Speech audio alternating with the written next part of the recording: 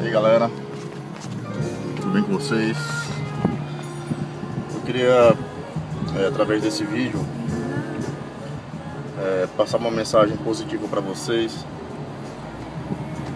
É, eu estou acabando de sair da Universidade Federal do Maranhão, é,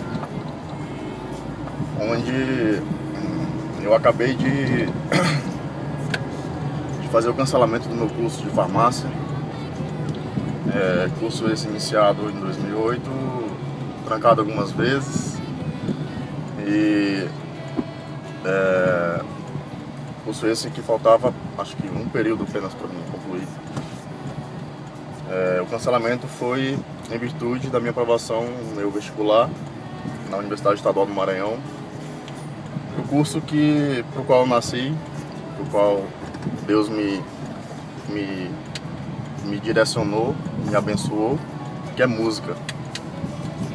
Então o que eu quero dizer para vocês é que se você é, seja, seja músico ou não, ou que queira ser músico ou não, é, independente do, da profissão que você vai exercer, independente do, do que você vai fazer da sua vida, que você aposte sempre no seu talento você acredite sempre nos seus sonhos e que principalmente você viva e faça as suas escolhas segundo o seu coração.